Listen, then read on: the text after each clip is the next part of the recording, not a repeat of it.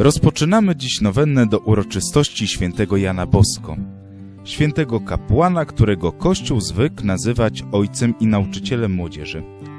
Jako Salezjanie, jego duchowi synowie, pragniemy zachęcić Cię do modlitewnego przygotowania się do jego liturgicznego wspomnienia, które dla nas i całej rodziny salezjańskiej jest wielką uroczystością. Nowennę, którą Ci proponujemy, postaramy się wzbogacić krótkimi słuchowiskami dopasowanymi do tematu każdego dnia.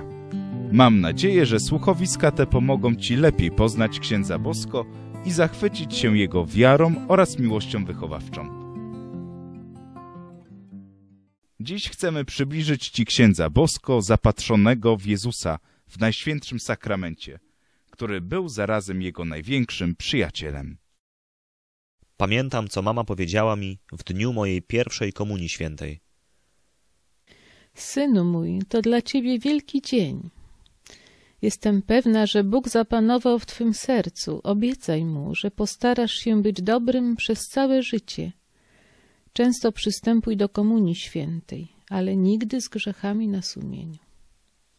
Starałem się żyć tą zasadą przez cały czas i wpajać ją moim kochanym chłopcom w oratorium.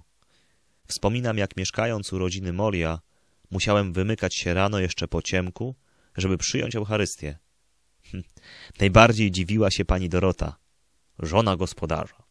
Jak to możliwe, że ten chłopak dla samej tylko komunii wstawał przed siódmą i to w niedzielę i szedł do kościoła godzinę drogi? Kiedyś nawet szłam za nim, bo nikt z nas mu nie wierzył. Potem dopiero zrozumieliśmy cel jego wędrówki. Nie było wtedy zwyczaju, żeby przyjmować często Eucharystię, więc chodziłem wszędzie tam, gdzie mogłem przyjąć Pana Jezusa. Hm. A potem, jak przypomnę sobie moją pierwszą mszę świętą, był to najpiękniejszy dzień w moim życiu. Trzeba mieć nadzieję w Jezusie Eucharystycznym. Tylko z Nim można odnieść zwycięstwo. Ileż wrażliwości możemy dostrzec w miłości Jezusa do ludzi.